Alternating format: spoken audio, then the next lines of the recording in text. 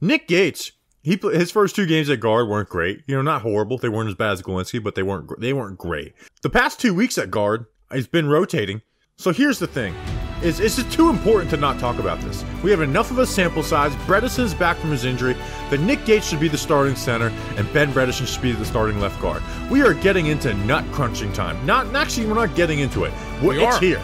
It's here. And one run, one pass can make the effing difference between winning and losing, between living and dying. Between living and dying. Seriously. And it's too important to play favorites. It's too important to be, these are my guys. And I told this guy he'd be the center, and this was our free agent piece. You've shown the balls to get rid of guys that didn't fit. Well, guess what? Guys aren't fitting right now. They're the guys you brought in. Time to start Nick Gates as center. These guys are younger, and they are better.